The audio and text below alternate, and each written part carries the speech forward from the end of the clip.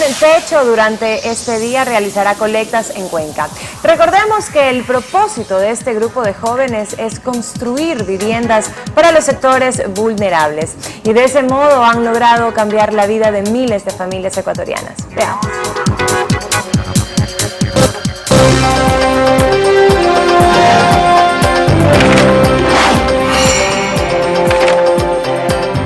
Techo conocida también como Un Techo para mi País, es una organización latinoamericana sin fines de lucro liderada por jóvenes de distintos países de América Latina. La organización se dedica a promover la toma de conciencia entre menores de 30 años respecto a lo importante que es que los más necesitados cuenten con una vivienda. Vamos a tener una construcción del feriado, del feriado del 24 de mayo, nos vamos a ir a tres lugares del país, nos vamos a ir a Ibarra, a Santa Isabel y a Durán.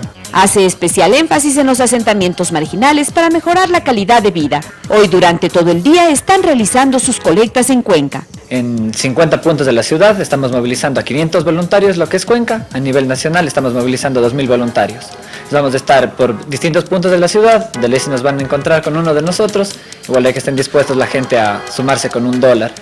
Y bueno, vamos a tener varias cosas preparadas. Tenemos una vivienda modelo que va a estar dando vueltas en un camión y vamos a construir otra vivienda modelo en el Parque Calderón. Hay que recordar que las grandes obras requieren de la colaboración de muchos y con un granito de arena estaremos haciendo felices a familias ecuatorianas.